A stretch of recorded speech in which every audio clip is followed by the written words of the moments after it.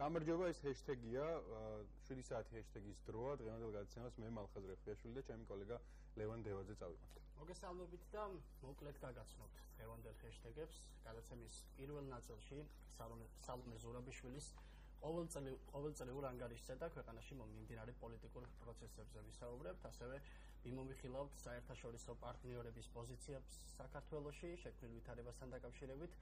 ზურა ჯიბრაშვილი სამართლის დოქტორი იქნება ჩვენი Skype სტუმარი, გადაცემის მეორე ნაწილში კი გიორგი ხატიაშვილი საერთაშორისო ურთიერთობების მიმომხილველი ჩაგვერთვება და ამერიკის შეერთებული შტატების საგარეო პოლიტიკას მიმოვიხილავთ. დონალდ ტრამპი მოლაპარაკებებს აწარმოებდა თალიბანთან ამერიკაში არჩევნები ახლოვდება სუპერსამშაბათის შემდეგ საინტერესო ვითარებაა შექმნილი.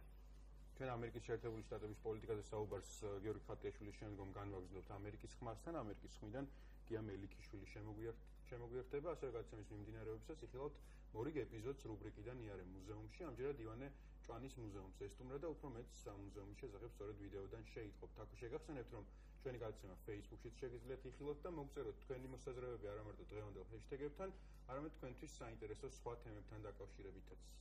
აშასე დავიწყოთ დღევანდელი გადაცემა. დღეს სალომე ზურაბიშვილი პარლამენტის წინაშე ყოველწლიური ანგარიშით წარსდგა რაზე გაამახვილა ყურადღება საქართველოს პრეზიდენტმა საკუთარ გამოსვლაში და როგორ ხედავს ის საქართველოსში მიმდინარე პროცესებს. ასევე საინტერესოა, რას ფიქრობენ ქვეყანაში შექმნილ ვითარებაზე ჩვენი საერთაშორისო პარტნიორები და რაზე მეტყველებს მათი განსაკუთრებით კი კონგრესმენ კინზინგერის მკაცრი ტონი.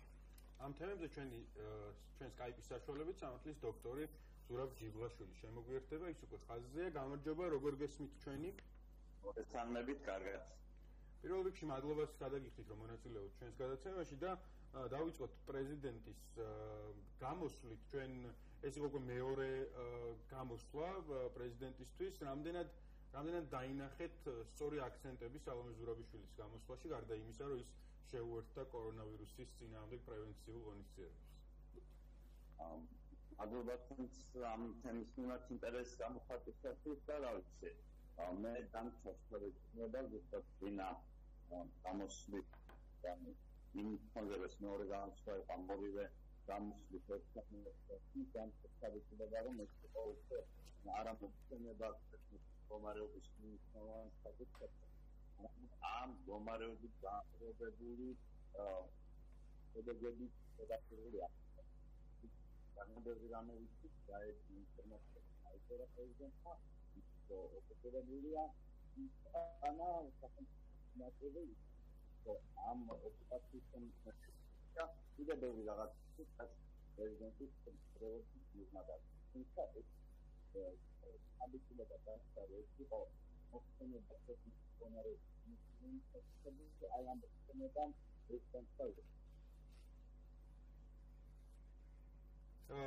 ზურა ტექნიკური ხაროჟი გაქვს არ გვესმის კარგად თქვენი ხმა ხელახლა დაგიკავშირდებით და გავაგზავნოთ საუბარი პრინციპში ჩვენ ჩვენ გაცემის პირველი ნაწილის თემა სწორედ სწორედ ისაა თუ რა ვითარება ქვეყანაში შექმნილი.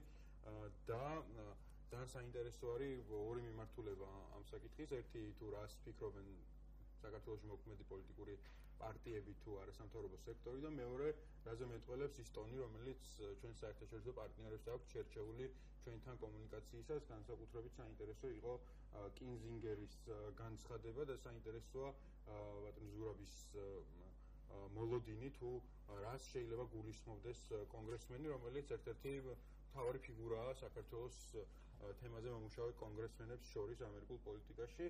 ასე რომ ძალიან საინტერესო თემაა ეს ბატონი ზურაბის შემოგვიერთება ისე ხა ვცდილობთ ხელ ხელახლა დაუკავშირდეთ და გავაგზავნებთ ამ საკითხზე საუბარს, თუმცა რა თქმა უნდა ყურადღების მიღმა უნდა დაგვრჩეს პრეზიდენტის ანგარიში, იმიტომ რომ ძალიან საინტერესოა თავად პრეზიდენტი თუ ხედავს ამ მოვლენებს ისე, როგორც სამოქალაქო საზოგადოების დანარჩენი ნაწილი. ხო, იმიტომ რომ ხშირად ისმება ხოლმე აქცენტები იმასთან დაკავშირებით, რამდენად რამდენად სწორ თემებს შეეხო ქალწუნის სალომე ზურაბიშვილი თავის წლევანდელ გამოსვლაში ეს მეორე ანგარიში იყო უკვე რომელთაც წარსდგა საქართველოს პრეზიდენტი პარლამენტის წინაშე, სწორედ ახლა ამ კადრებს ვხედავთ, შეგახსენებთ რომ დღევანდელ სხდომას და პრეზიდენტის ანგარიშს არ ესწრებოდნენ პოლიტიკური ოპოზიციის წარმომადგენლები, გულისხმობ ნაციონალურ მოძრაობას და ევროპულ საქართველოს. დამოუკიდებელი დეპუტატები ის ადამიანები რომლებმაც დატოვეს ქართული ოცნება და ოპოზიციაში გადავიდნენ დარჩნენ სხდომაზე და უსმენდნენ ქალოთმოც სალომეს ზურად დაბრუნდა ხაზზე როგორც ვიცი გამარჯობა გეს კიდევ ერთხელ გესმით ჩვენ.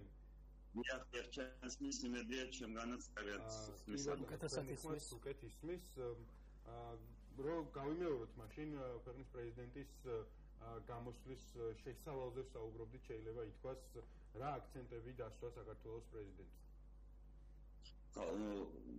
პრეზიდენტის ეს გამოსვლა სახელმწიფოს მეთაურის გამოსვლა უნდა ეხებოდეს ქვეყნის მდგომარეობის უნიშნულოვანეს საკითხს აი როგორც პირველი ასევე ამ გამოსვლის გათვალისწინებით მე დამჭაში თავეჭინება რომ ეს იყო არა ინფორმაცია არა მოხსენება მდგომარეობის შესახებ არამედ ამ მდგომარეობის განპირობებული შედეგების ზედაპირულობამდე ზოგადი მიმოხდება. აი ესეთი განცდა რამჩანი და ანუ საერთოდ ვერცემინა ქვის მდგომარეობის მნიშვნელოვან საკითხებზე მოხდების შეიძლება.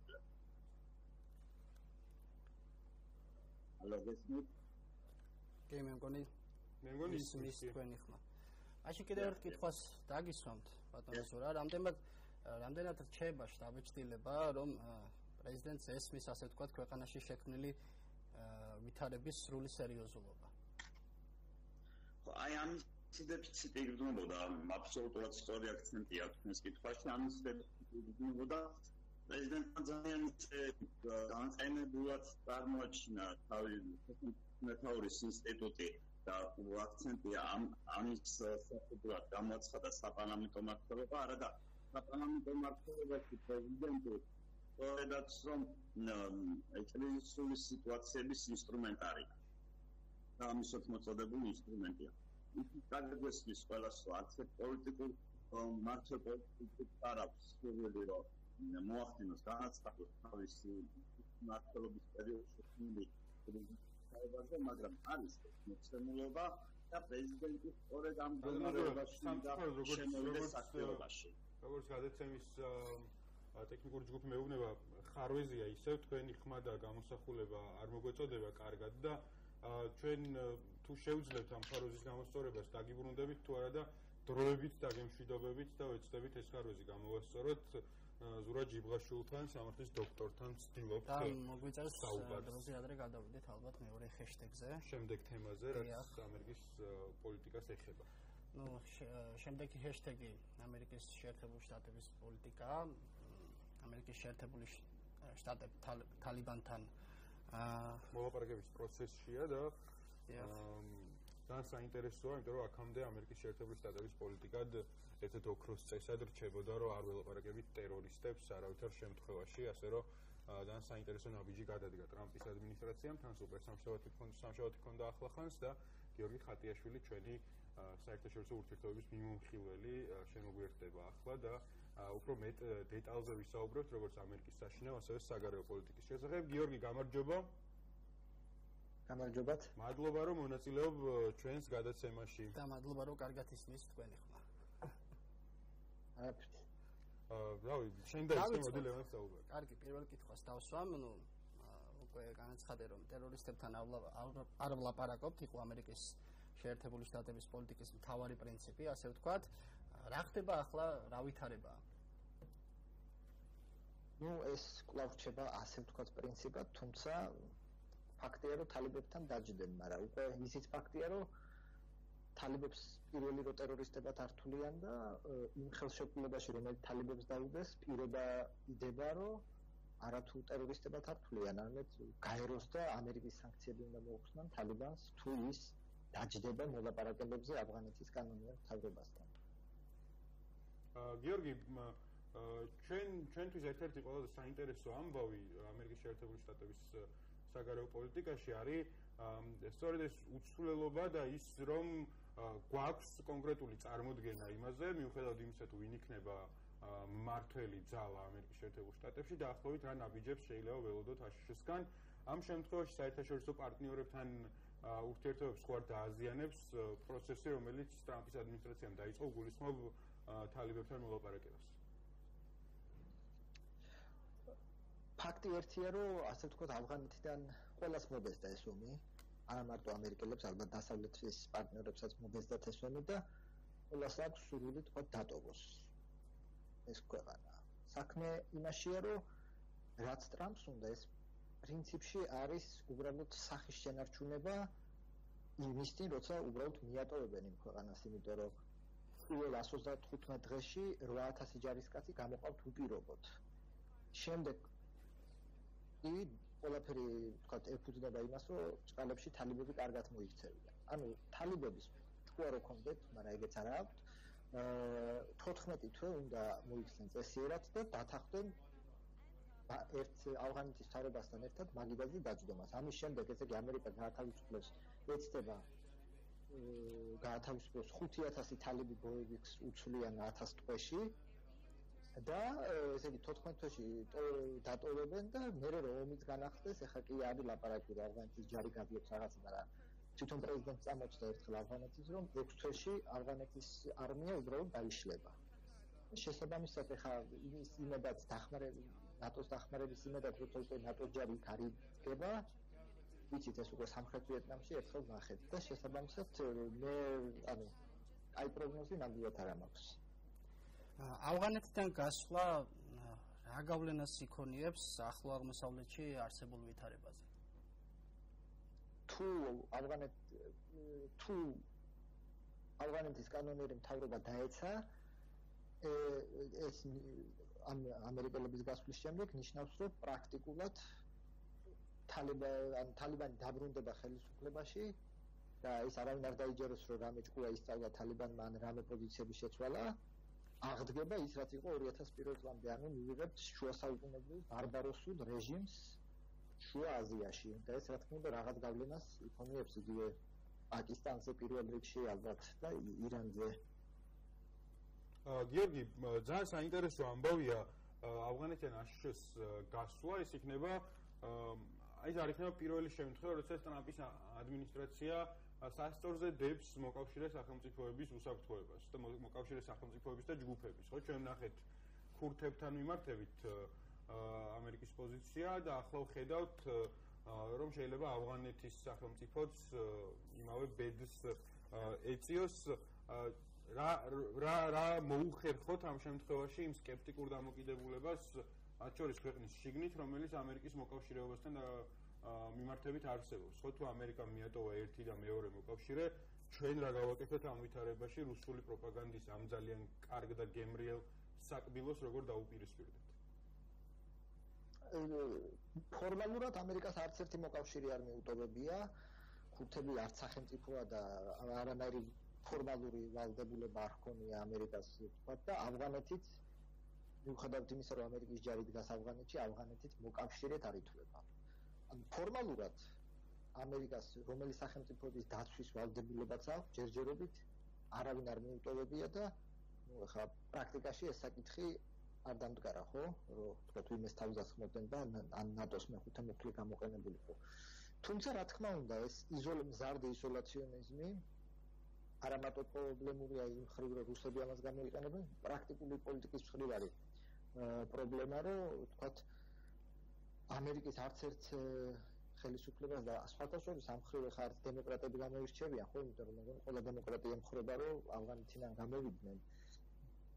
იმ სოფლიო არენაზე თქვათ ასე თქვათ შემოbrunებული, სოფლიო არენისგან შემოbrunებული ამერიკა ნამდვილად არ არის კარგი განსაკუთრებით ჩვენაირი პრობლემატიკის ფონე ქვეყნებს. ხო, გასაგებია რომ ახლა ჩვენ სასიცოცხლო გვესაჭიროება ამერიკელები ამერიკის დახმარება რუსეთთან წინააღმდეგობაში შესაბამისად ეს სოფლის ხალხებისთვის არ არის კარგი მაგრამ ნუ განსაკუთრებით ახლა ქურთებისთვის და ნუ ავღანელებისთვის ეს ეს ავღანეთისთვის ეს შეიძლება კატასტროფულად დამთავრდეს. აა ჩვენ ჩვენ ყველამ კარგად ვიცით რომ ამერიკის შეერთებული შტატების საგარეო პოლიტიკის ფორმირებაზე აა ყველაზე დიდი გავლენა ალბათ თუ რომელიმე ქვეყანაში აქვს ამერიკის შეერთებულ შტატებში აქვს პრეზიდენტს. და ახლა არის სწორედ ის პროცესი ნოემბრის არჩევნებამდე, რომელმაც ძალიან ბევრი რაღაცა უნდა გადაწყვიტოს. გუშინ იყო სუპერ სამშაბათი და შენ შენი სტუმრობა არ შეიძლებოდა არ დაგვეთმო დრო შენი სტუმრობის სუპერ სამშაბათის საუბრისთვის. ჩვენ ნახეთ გუშინ, რომ აი სკეპტიკური დამოკიდებულება ჯო ბაიდენისადმი ცოტა ნაადრევი აღმოჩნდა. და ყოფილმა ვიცე-პრეზიდენტმა აჩვენა ყველას და პირველ რიგში საკუთარ ამომრჩეველს, რომ ის ჯერ კიდევ არის ფავორიტებს შორის. რა რა რა შედეგები დავინახეთ ჩვენ სუპერ სამშაბათის და როგორია მოლოდინი შენი ვინ იქნება ტრამპის კონკურენტი ნოემბერში? სუპერ სამშაბათმა პრაქტიკულად განახა რომ პირველ რიგში რა თქმა უნდა ჯო ბაიდენი რეანიმირდა ასევე განახა რომ ეს ის უდიდესი მხარდაჭერა რაც ჯო ბაიდენს აქვს სამხრეთის შტატების მოსახლეობაში და ეს უნდა გვესმოდეს რომ სამხრეთის შტატებში 90% 80-დან 90%-ამდე დემოკრატების გახლა არიან აფრო-ამერიკელები. შესაბამისად უდიდესი მხარდაჭერა რაც იმის გამო რომ ობამას ვიცე-პრეზიდენტი იყო იმის გამო რომ იცნობენ უკვე 30 წელია და იმის გამო რომ ყველაზე ერთგული დემოკრატები არიან ასე ვთქვათ აფრო-ამერიკელები რაც გამოუცხადეს ჯოზეფ ბაიდენს. შესაბამისად ტეხასია ცოტა ჯერ ვერ დათვალეს ხო ბოლომდე? ტეხასის გარდა ყველა სამხრეთის შტატი მოიგო ჯოზეფ ბაიდენმა ბატონმა სანდერსმა მოიგო მის საკუთარ სტატს თუ არ ჩაგდოთ ვერმონტს, მოიგო კოლორადო და იუტა და კალიფორნიაში ეხაც ითვლია, შეიძლება კალიფორნია მოიგოს. შესაბამისად, ეს სამხრეთის შტატების მოგება საკმარისი აღმოჩნდა ამ მომენტისთვის, რომ ჯოზეფ ბაიდენს მეტი დელეგატი ყავდეს, ვიდრე სანდერს. სანდერსაც არ არის ის, სხვაობა დაახლოებით 100 დელეგატია, ხა იქ სხვადასხვა საიტებზე სხვადასხვა რიცხვებს წერენ, ანუ ჯერ ბოლომდე არ დამთავრებულა ამან. დღეს დაახლოებით 1000-ზე მეტი დელეგატი უნდა გადანაწილდეს და არ დამთავრებულა შესაბამისად თვათ შტატის მოგებასაც არ უნდა ვუყუროთ და რამდენი პროცენტით მოიგო ეს რაღაც ინდიკატორია მაგრამ ჩვენ უნდა ვუყუროთ ვინ რამდენი დელეგატი მიიღო. შესაბამისად ეს პროცესი ეხაც გრძელდება დასრულებული არ არის მაგრამ შეიძლება ითქვას რომ ამ წუთას ბლუმბერგი გამოეთიშა საპრეზიდენტო რბოლას განცხადება დაიდო რომ ბლუმბერგი აღარ იქნება ამ ბრძოლის ნაწილი ლეონს ქონდა პრინციპში კითხვა და ლეონის მე დაგისვა მე მე ამ კითხვას ამ თემასთან დაკავშირებით. კი, ერთია, ნუ ბაიდენის და სანდერსის დაპირისპირება და ასე ვთქვათ მათი შანსები და მეორე რომელს მეტი შანსი აქვს ტრამპთან. შე როგორ ფიქრობ, რომელიმე შეძლებს ტრამპის დამარცხებას ასე ვთქვათ? აა ბლუმბერგით რო დავიწყოთ, ესე იგი ხო, კი ბატონო, სამწუხაროა, ეხლა კომპეტენტური და საქმისკაცი იყო მაიკლ ბლუმბერგი, მაგრამ ფაქტია რომ ერთ ერთი 500 მილიონი იგივე წარმატებით შეძლო ბუხარში დაეწვა, ანუ სადაც 18% ეს სტატი გადააცირა და ვერსა 18 თუ 20 დელეგატი აიღო. და თელი მისი კანდიდატურა ემყარებოდა ერთადერთ პრინციპს, რომ თუ მოხდებოდა ბაიდენის კოლაფსი, ის უნდა ყოფილიყო ასე ვთქვათ ამერიკის ლიდერი. ბაიდენმა ასე ვთქვათ კამბექი დადო შესაბამისად მისი კოლაფსი არ მოხდა და ნუ ბლუმბერგი მართლა ეხლა სწორად აბსოლუტურად სწორი გადაწყვეტილება მიიღო, იმიტომ რომ არანაირი შანსი რომ ბლუმბერგმა მიიღოს საპრეზიდენტო ნომინაცია არ არსებობს. რაც შეეხება რომელის აქვს მეტი შანსი დაამარცხოს პრეზიდენტი ტრამპი, უნდა გესმოდეთ რამდენიმე ფაქტორი. ისტორიულად როცა მოქმედი პრეზიდენტი როცა მეორე ვადაზე მიდის, ეს უკვე უპირატესობა ამისთვის, ბოლო ერთ კვირიან თქვათ უოლ სტრიტის იმას თუ არ ჩავთვლით რხევებს ეკონომიკა იზრდება უმუშევრობა დაბალია. ანუ ეკონომიკური მონაცემები კი რა თქმა უნდა სიღარიბეც არის და ის უთანასწორობაც მაგრამ ეკონომიკური მონაცემები ზოგადად პოზიტიურია მოქმედი პრეზიდენტისთვის და ქვეყანა არის ომში არ არის. შესაბამისად ეს სტრუქტურული ფაქტორები მოქმედ პრეზიდენტს ხელს უწყობს. აა ბაიდენი თუ სანდერსი მე პირადად ვფიქრობ რომ ბაიდენი იმიტომ რომ სანდერსის ფორმულა რომ მე ვთქვათ შევქმნი კოალიციას და ვთქვათ ახალგაზრდები და ხალხი რომელსაც არასოდეს ხმა არ მიუჩია ვთქვათ ისინი მისცემენ ხმას არასოდეს ვთქვათ არ დატესტილა ხო?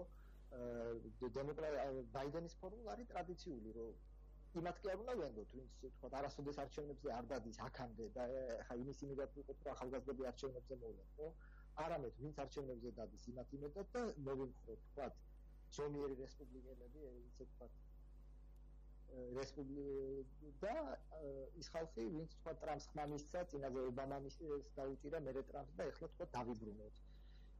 მე ვსხვილ კი ბაიდენი გაცილებით ცნობილია და ეს გვინდა ჩვენ თუ არ გვინდა ეს იარლიყი და ბატონი სანდერსი ღიათ აცხადებს რომ სოციალისტია და ეს ამერიკაში დღემდე კი ნაკლებად მაგრამ იმოქმედებენ თან გავითვალისწინოთ ერთ საკითხს რომ ჯერ თქვა არ დაწყებულა ხო ისეთი წინასარჩევნო კამპანია რომ რესპუბლიკელებს დაეწყოთ ეს გაშავების მიაღვარი რომელიც ხდება ყველა საარჩევნო პირობებში თან იმასაც თუ გავითვალისწინებთ რომ ბოლო რამდენიმე კვირა ტრამპი თავის ტვიტერზე ავითარებს ერთ გენერალურ ხაზს რომ დემოკრატიული პარტია ჩაგრავს ბერნი სანდერსს. ხო ეს 2016 წლის გადამღერებაა. მაშინაც ზღაპარი იყო, ეხლა ზღაპარია, მაგრამ რატო აკეთებდა? რატო რატო ავითარებს ამ გენერალურ ხაზს? იმიტომ რომ მისთვის საკმარისია ეს 2-3% გამწარებული სანდერსის ამორჩეველი დაიბოღნოს დემოკრატიულ პარტიაზე და არ და ან არ მივიდეს, ან მივიდეს და ტრამპს მისცეს ხმა. ეს მისთვის საკმარისია, ამიტომ თუ დაუკვირდებით ტრამპის ტვიტერს ბოლო რამდენიმე ის განმეორდა სულ იმას ამბობს რომ ბერნის ჩაგრავენ ბერნის ჩაგრავენ იმიტომ რომ ის ამორჩე ბერნის ამორჩეველის გარკვეული ნაწილი ის 2016 წელსაც ესე იყო რომ ვინც დემოკრატიულ პრაიმერში სანდერს მისცა მე წავიდა და ტრამპი შემოხაზა ბევრი არ იყო. ზოგი გათვლით იყო 20% მაგრამ შესაბამისად ამ ამის სწორი თუ არასწორი დრო გვიჩვენებს მაგრამ გათვლა აქვს ტრამპს რომ ასე ვთქვათ შეიტანოს დაპირისპირებენ ტრის ბანაკში. გიორგი, ძალიან საინტერესო ამბავია შენ სახსენე დონალდ ტრამპის ბერნი სანდერსის ამორჩეველი, რომელიც შეიძლება საკუთარ თავს დემოკრატიული პარტიის შიგნით ვერ ხედავდეს, პრინციპში როგორც ბერნი სანდერსი ვერ ხედავს, მიუხედავად ჩემი წარმოდგენისა მასზე. ძალიან საინტერესოა ხშირად საუბრობენ იმაზე, რომ ბერნი სანდერსი რაღაც სოციალიზმის აჭრდილი და ასე შემდეგ ხდება მისი გაიგივება, მოკლედ ძალიან ძალიან მემარცხენე იდეებთან, რის გამოც ეშინია მისი პოლიტიკურ ესტაბლიშმენტს როგორ ფიქრობ ის ის ბძოლა ჯერ არის თუ არა ბძოლა რომელიც ვახსენეთ რომ ბერნის ჩაგრავეთ. არის თუ არა საერთოდ ბძოლა ესეთი მიზანი მიმართული ესტაბლიშმენტის მხრიდან ბერნის სანდერსის მისამართი იმიტომ რომ ჩვენ ნახეთ პიტი რომელიც გამოეთიშა რბოლას ჩვენ ნახეთ ბლუმბერგი რომელიც ასევე გამოეთიშა რბოლას და ეს ყველაფერი შეიძლება ითქვას წყალს სწორედ ჯო ბაიდენის წისქვილზე ასხამს ებრძვის თუ არა დემოკრატიული პარტიის ესტაბლიშმენტი ბერნი სანდერს აქ რამდენიმე საკითხია. პირველი რომ ბატონი სანდერსი არასოდეს არ ყოფილა დემოკრატი, ხო? ის დღემდე ვერმონტში როგორც დამოუკიდებელი კანდიდატი იმარჯვებს. იმართალია სენატში ის ასოცირდება დემოკრატიულ სენატორებთან და ძირითადად ხმას აძლევს როგორც დემოკრატი, მაგრამ დღემდე ის არასოდეს არ ყოფილა დემოკრატი. შესაბამისად, აბსოლუტურად გასაგებია რომ დემოკრატიული ეს ისტაბლიშმენტი რადგან ცუდი სიტყვა გახდა თქო აბსოლუტურად გასაგებია რომ თქვა დემოკრატიული პარტიის ელიტას უნდა ისეთი ადამიანის ნომინირება რომელიც დემოკრატი არა ბოლო 15 წუთი იმის გამო რომ ამერიკაში სხვანაირად უნდა ვერ მოიპოვოს ნომინაციას და არამედ იმისი ვინ თელი ცხოვრება დემოკრატია ეს შეიძლება თუ არა ითქვას რომ ებრძვიან არა ანუ კარგი გაგებით ცდილობენ ნომინირება დაუკეთოს იმ ადამიანს ვინც დემოკრატია არა იმიტომ რომ აწყობს, არამედ იმიტომ რომ თელ ცხოვრება ამ პარტიას შესწირა. შესაბამისად ეს გასაგებია. არამედ უკანონო ჩაგვრას და რაღაცებს მე არ 2016 წელს ჯერა ეს ძირითადად ეს ჰილარი კლინტონმა მოიგო მეტი დელეგატით და ეხა რაღაცა დაჩაგრეს და რაღაცა და ეს არის ჯულიან ასანჟის და კაგების მოგონილი პულები ძირითადში.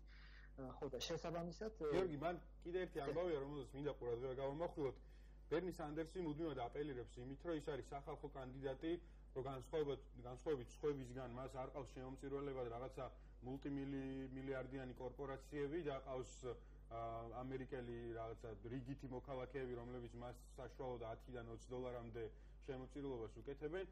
ამაზე სახალხო სახალხოობაზე აპელირებს ხშირად ბერნი სანდერსი და მეორე მხრივ ძალიან საინტერესოა ჩვენი ჩვენი ანუ მედალევანის ამერიკელი კოლეგების ურთიერთობა ბერნისთან. როგორ აშუქებს ამერიკული მედია და რამდენად იგრძნობა ამერიკის შეერთებულ შტატებში ბერნი სანდერსის მოძრაობის სახალხოობა? არის თუ არა ასეთი განწყობა ამერიკაში? ერთი ნამდვილად რაც შეიძლება ითქვას, რომ ამ კაცმა ის მოახერხა, რომ თქვა 2008-ში და 12 წელს აა თქვა ობამას აბრალებდა, რა თქმა უნდა, არასოდეს ობამა სოციალისტი არ ყოფილა, აბრალებდა და კაცი უწევდა. ხო ხარ? ეგეც უნდა გავითვალისწინოთ, რომ ვინც არ უნდა დაასახელონ დემოკრატებმა, რესპუბლიკელებმა მას სოციალისტი უწოდებენ, იმიტომ რომ საკმარისი დემოკრატმა თქვას, რომ ადამიანი მშიერი ქუჩაში არ უნდა მოკვდეს, რომ ეს რესპუბლიკელებისთვის სოციალიზმია. ეგ გასაგებია, მაგრამ დღეს კაცი ღიათ აცხადებს, რომ არის დემოკრატიული სოციალისტი და ვთქვათ, ეს უკვე ეს ასე ვთქვათ, ესეთი დისკურსული გარდატეხა გარკვეულად გარკვეულწილად შემოიტანა ამერიკულ პოლიტიკაში, რომ ეს უკვე აღარ არის ვთქვათ ანუ ეთრის დონის რაღაცას. კი, დღეს პრობლემატურია და ერთ-ერთი მიზეზი რატომაც თქვა ბაიდენს უწევს ხარს დემოკრატიული პარტიის ისტაბლიშმენტი არის ის რომ გარდა იმისა რომ რა თქმა უნდა ნოემბერში ტარდება საპრეზიდენტო არჩევნები ჩვენ და ვიცოდეთ რომ ასე ტარდება სენატის 1/13-ის და მთელი წარმომადგენელთა პალატის არჩევნები და თუ იქნებოდა ბერნი სანდერსი თქვა ამ საარჩევნო ბიულეტენის თავში ბევრი დემოკრატს ეშინოდა რომ მათ შეიძლება დაკარგონ ის ოლქები რაც მათ თქვა 2000 ჩაშა ხო?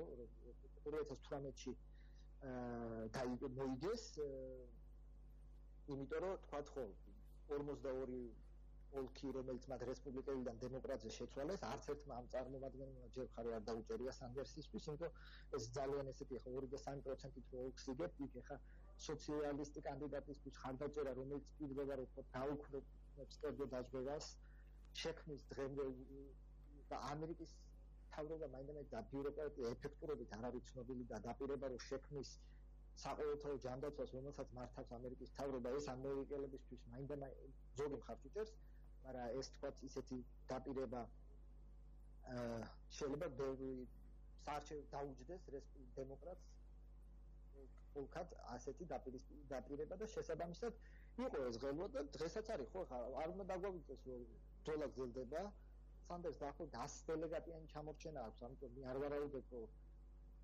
რომ 2016-ში არ გამოეთიშა ის ბოლიდან და შესაბამისად ჩემთვის არ ვარაუდებ, რომ დღეს გამოეთიშება, ნამდვილად არ გამოეთიშება.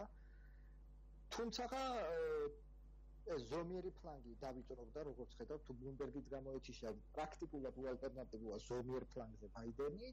ერჩება ელიზაბეთ უორენი, რაც გააკეთებს, მაგრამ ის უფრო მემარცხენე ფლანგზეა. გასაგებია. ისე ბერნის თუ წაართმევს ხმებს ელიზაბეთ ვორენი. გიორგი ბოლოს კიდევ ერთ კითხვას დაგისვამთ და დაგემშვიდობებით. საინტერესო იქნება ჩვენ ჩვენ ვის უნდა ვიგულშემატკივროთ, რომელი პრეზიდენტის ადმინისტრაცია იქნება, ასე ვთქვათ, უფრო აქტიური რუსეთთან მიმართებით და ვინ დაიცავს უფრო კარგად ჩვენს ინტერესებს და უფრო აქტიურად. წარმოდგენილი კანდიდატებიდან უდავოდ ჯოზეფ ბაიდენი საქართველოს დამყოფია. უდიდესი საგარეო პოლიტიკური გამოცდილება აქვს ო სენატის საგარეო ურთიერთობათა კომიტეტის თავმჯდომარე იყო ბოლოს და ბოლოს. აა შესაბამისად და ნუ სანდერსი გამოირჩევა იმით რომ გარდა იმის სარო არა რუსეთის სანქციები მაგნიტსკის აქტისთვის არა აქვს ხმამიცემული საკმაოდ ამხრივ ტრამპი და სანდერსი ერთში ორივეს თქვა ეს იზოლაციონიზმი აქვს მაგრამ სამს რაც აჩერებს ის არის რომ ტრადიციულად თქვა რესპუბლიკელები ითვლებოდნენ თქვა ძლიერი საგარეო პოლიტიკის მომხრეებად და ამიტომ ცოტა უჭირს ტრამპს ეს თავისი საგარეო პოლიტიკური წიაღშლების გატარება. მიუხედავად იმისა რომ მაინც როგორც ავღანეთზე ნახეთ და ატარებდა ხარდაჭერაც აქვს იმიტომ მობენდათ ხო თქვა ამერიკელებს და ამერიკელებს მაგრამ თუ ლაპარაკია ესა სანდერსი თუ ბაიდენი ჩემი აზრით გასაგებია. ხა დიდი განსხვავება ალბათ არ იქნება, იმიტომ რომ ხა კონგრესი დაფინანსებებს შეინარჩუნებდა რაღაცა, მაგრამ რიტორიკულ დონეზე და ნატოს ხარდაჭერის გულ და ასე შემდეგ და საერთაშორისო ურთიერთობებისთვის და ამერიკის ალიანსებისთვის მე ვფიქრობ, რომ ბაიდენი ჯობია. გასაგებია. დიდი მადლობა გიორგი, რომ იყავით ჩვენთან ერთად. მადლობა თქვენ. გიორგი ხატიაშვილი იყო ჩვენი სტუმარი საერთაშორისო ურთიერთობის მიმოხილველი და ხა შეგვიძლია კიდევ შემდეგ ჰეშტეგზე გადავიდეთ. შემდეგ ჰეშტეგზე გადავიდეთ. გადავ ეს არის მორიგი ეპიზოდი ივანე ბაკურაძის რუბრიკიდან იარე მუზეუმში. ჩვენ ყველაფერი უნდა გავიგოთ მუზეუმების შესახებ ივანეს ყალობით ყველა მუზეუმში. ვიყავით. ჩვენი მიზანია რომ აჭარაში არ დაგვრჩეს არც ერთი მუზეუმი, სადაც არ ყოფილიყო. ჯერ ეს და შემდეგ უკვე აჭარასაც გავხსდებით დარწმუნებული. და მე უკვე კავკასია, ევროპა და ასე შემდეგ. მოკლედ ნახოთ ივანეს რუბრიკა, ის ამჯერად ეწვია ჭვანის მუზეუმს, ნახოთ რა გადაიღო ივანე ბაკურაძემ და დავბრუნდებით ეთერში.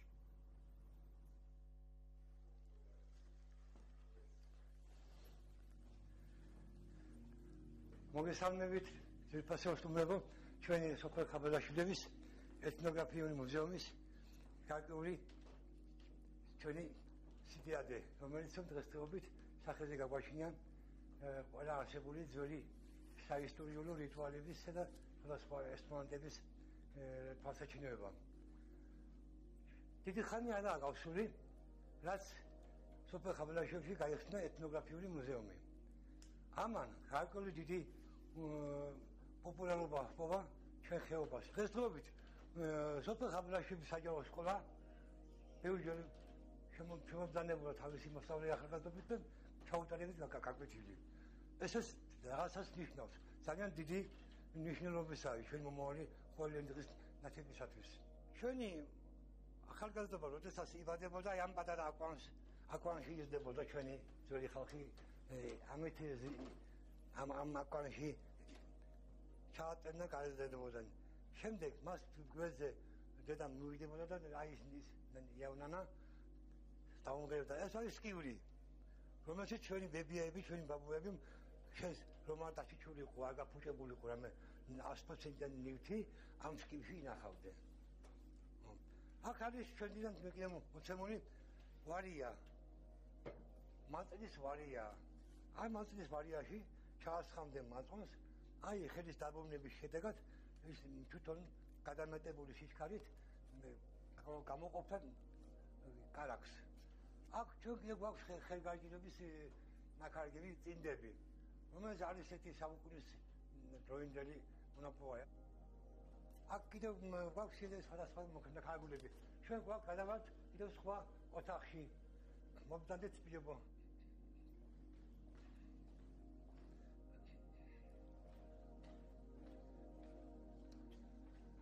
აქ არის სოფლის აქ არის სოფლის მეურნეობის ის ინსტრუმენტები, რომელიც საკუპაციის ცხოვრებაში გამოიყენებოდა.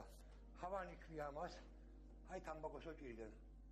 ხავანი ეს აი თურქების დასამუშავებელი ზარა აგი არის საქსოვი დაზგა საქსოვი დაზგა რომელიც მაშინ არ ნაკლები იყო სასაცმელი ამაზე მატერიით ესე იგი ქსოვი უნდა დაფერდეს შემდეგ აი ჯირღაუღელი ჩვენ ტრადიციული ხარების ხარებ შევაბემდით და ასე ხნავდით აქ გვაქვს ჩვენ კიდევ სხვადასხვა ინსტრუმენტები სამუშაო იარაღები აქაც კიდევ გამოინახება სხვა ინვენტარი, რომელიც ჩვენს ყოფასხოვებას ჭირდებოდა. აი, ამას ქვია გვარდადი, გვარდა. კარაქსი ნახავდნენ ყველს. აი, ესაა დაგამისი, რომელიც ამას დაახლოვდა ყავას ოსტატი და გამოიყენებდნენ ასეთ აი. და დანარჩენი აქ კიდევ ძველი ინსტრუმენტები აქ ჩამოყოლებული, კამფურ ამას ვეძახი ჩვენ კამფურებს. არ იყო მაშინ სინათლე, არ იყო მაშინ მასალი სახელი მაიშინერი კალთა ამისთან ინსტრუმენტებით სპინდამდე ფიცრებს ვანის ხეობის ეთნოგრაფია ძალიან დიდარი იყო თავისი ეთნოგრაფიული მონაცემებით. ეზოთ აქ ჩვენ სახეში სახეზე გვაქვს განსაკუთრებული აი ძველი მომღერლები. ფოტო სურათებზე ავიყვანეთ და არც ერთ თანაკარგით თანაკარგით ჩვენ ანივერსიტეტ ამ ამ სტილს აქ ჩვენ ყავს ბერიზე ვანო სოფელი ჭალა რომელიც სამ სართულიან ჩონგოს და ფანდოს აკეთებს ერთად. ასევე ძველი ეს არც ერთი დღესდღეობით ცოს ხაი არ აქვს ადგილზე მაგრამ ჩვენ გავგავთ შემო ჯიფასებო მეგობრებო რომ მათი ნაანეგვარი მათი ისტორია მათი ჩანაწერები ჩვენ სოფელ ხაბლაშვილის მუზეუმში არ ვიქონიოთ აქ ჩვენ გვაქვს სხვადასხვა სახეობის ძალიან უკუთეს და ვოკაუჯგობ ხაბლაშვილის საფრთხებული აი მუხამად ასმენაძე თუ გაიგონიათ შეიძლება ხარი მომწევა იყო ეს ძალიან ძლიერი ამისთან კიდევ აქეთ არის კიდევ სხვა სოფლების ჯგუფები ასე დამგვარად იარეთ მუზეუმში ჩვენს სოფელში ისტორიოგრაფიის სოფელში და ოთვის იქნებით უფრო დაახლოებული და ჟინეული განწყობი და ლაგიკემლები დაუბრუნდით ეთერში? ჩვენ ნახეთ ივანეს მორიგი ვიდეო ჭვანიდან. მე არ ვიცი შემდეგი მუზეუმი რომელი იქნება მაგრამ როგორ იქნება აუცილებლად რომელი ივანე ახერხებს მიაგნოს ადგილებს რომლებიც აუცილებლად უნდა ვნახოთ ხო და კარგი ჰეშტეგი და კარგი მოწოდება იარე მუზეუმში მე აუცილებლად ვითვალისწინებ ამ ფაქტს ყოველ შემთხვევაში ივანეს რუბრიკის შემდეგ და საინტერესო რაღაცებს აღმოვაჩენთ ყოველ შემთხვევაში მე ბევრი რამ არ ვიცოდი და დარწმუნებული ვარ ჩვენმა ტელემაყურებლებმაც. დიდი მადლობა ივანეს კიდევ ერთი ვიდეოს. და ოპერატორებს გიორგ გოგავას და გოჩა კვაჭაძეს, რომლებიც ამ ვიდეოზე მუშაობენ. შემიძლია დავიძრათ შემდეგი თემისკენ კიდევ ერთი ვიდეო უნდა დავჩვენოთ მაყურებელს, ხო? ერთი ვიდეო და საკმაოდ საინტერესო თემაზე. შეგვიძლია კიდევ გავიგოთ ბევრი რამ აი ინფექციის შესახებ და ასე ვთქვათ რამ წარმოდგენები წარმოდგენა დიახ. და როგორ ეს სიამოვნებაში რეალობა ხო? და რომ ეს არ არის განაჩენი და შეიძლება ბრძოლა მეც საინტერესო რამის გავიგებ და დარწმუნებული ვარ რომ მეტი გვეცოდინება აი ინფექციის შესახებ ნახოთ ვიდეო და დაუბრუნდებით რა უნდა ვიცოდეთ აივ ინფექციის შესახებ? სიჩუმე უდრის სიკვდილს. სოციალური მოძრაობა აქტაფის ეს დევიზი 80-იან წლებში, როდესაც შიცის ეპიდემია ტრიალებდა, იყო მოწოდება უამრავი ადამიანისთვის ებრძოლათ ჯანმრთელობის უფლებისთვის. ოჯახები შიცით გარდაცვლილ შვილებს, შეყვარებულებს, მეგობრებს გლოვობდნენ და მთავრობებისგან ითხოვდნენ ქმედითი ნაბიჯების გადადგმას ვირუსის დასამარცხებლად. ამ სოციალური მოძრაობის შედეგად დღეს აივ ინფექცია შიცი ქრონიკულად მართვადი დაავადებაა და თითქმის ყველა ქვეყანაში აივ ინფექციის მკურნალობას სახელმწიფო აფინანსებს. ანტირეტროვირუსული მკურნალობა, რომელიც საქართველოსშიც ხელმისაწვდომია, ადამიანებს აძლევს შესაძლებლობას გაინულონ ვირუსი და იცხოვრონ სრულყოფილი, ჯანმრთელი ცხოვრებით. აღმოჩნდა, რომ ადამიანები, რომლებიც მკურნალობენ აივ ინფექციას, ვირუსული სუპრესიის მიღწევის შემდეგ აღარ არიან ვირუსის გამავრცელებლები. სწორედ ამ მკურნალობის წარმატების შედეგად საქართველოსში და მსოფლიოში აივ ინფიცირებულ ადამიანებს უჩნდებათ ჯანმრთელი შვილები და სიცოცხლის ხანგრძლივობამაც იმატა. დღესდღეობით აივ დადებითი ადამიანების პრობლემები სამედიცინოზე მეტად უფრო სოციალური ხასიათისაა. სამწუხაროდ, ბევრი ადამიანი არ ფლობს ინფორმაციას უშუალოდ დაავადების გადაცემის გზების შესახებ. სოციალური უგულებელყოფისა და დისკრიმინაციული დამოკიდებულებების გამო აივ დადებით ადამიანებში დეპრესიის და შფოთვების მაღალი რისკია. ამიტომ განსაკუთრებული მნიშვნელობა ენიჭება განათლების ფორმალურ და არაფორმალურ გზებს, რათა სტიგმა ინფორმირებული დამოკიდებულებით შეიცვალოს. ამავე დროს არსებობს ეპიდემიოლოგიის ოქროს წესი. პრევენციაში დახარჯული მინიმალური თანხა ნიშნავს მკურნალობაში დახარჯული ათასების აცილებას. უნდა გვახსოვდეს, რომ აივ ინფექციისგან თავის არიდება ყველა შეგვიძლია. საამისოდ რამდენიმე მეთოდი არსებობს. პირველი სტერილური სამედიცინო იარაღების, მათ შორის ერთჯერადი ნემსების გამოყენება სამედიცინო манипуляციების სტატუს გაკეთების ან და ინექციური გზით ნარკოტიკული ნივთიერებების მოხმარებისას. მომხმარებელთა თემისთვის არსებობენ ორგანიზაციები, რომლებიც ზიანის შემცირების პროგრამის ფარგლებში არიგებენ ერთჯერად შპრიცებს. მეორე, კონდომის გამოყენება. პრეზერვატივი აივ ინფექციაში ცის და სხვა სქესობრივი გზით გადამდები დაავადებისგან თავდაცვის უნივერსალური საშუალებაა. კონდომის ყიდვა დღეს გაცილებით მარტივია ნებისმიერ აფთიაქში ან დიდ სუპერმარკეტში. აფთიაქებშივე შესაძლებელია ლუბრიკანტის შეძენა, რომელიც კონდომს დამატებით იცავს დაზიანებისგან. ბათუმში, ქუთაისში, თბილისში და სხვა ქალაქებში არსებობს ქვიარ სათემო ორგანიზაციები, სადაც კონდომების მიღებას უფასოდაც შეძლებთ. დღეს კონდომის საერთაშორისო დღეა. საკუთარ და პარტნიორის ჯანმრთელობაზე ზრუნვა ღირსეულის აქციელია. კონდომი არამხოლოდ სქესობრივი გზით გადამდები დაავადებებისგან გვიცავს, არამედ ის არის ოჯახის დაგეგმვის ეფექტური საშუალება. საქართველოში ევროპულ საშუალო მაჩვენებელთან შედარებით მაღალია აბორტების რიცხვი. კონდომი კი საუკეთესო საშუალებაა თავიდან აიცილოთ ქალის ორგანიზმისთვის საკმაოდ უსიამოვნო და დამაზიანებელი პროცედურა.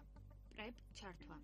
აი ინფექციის პრევენციაში დღესდღეობით წამყვანი ადგილი უჭირავს პრეპს. იგივე პრეექსპოზიციურ მკურნალობას. ეს არის მედიკამენტი, რომელიც გარკვეული სქემით მიიღება. დაუცველი სქესობრივი კონტაქტის შემდგომ ეს არის თავდაცვის ეფექტიანი საშუალება. სხვადასხვა კვლევის მიხედვით, მისი ეფექტურობა 98%-ს აღწევს. პრეპი არის ახალი სიტყვა აივ ინფექციის პრევენციაში.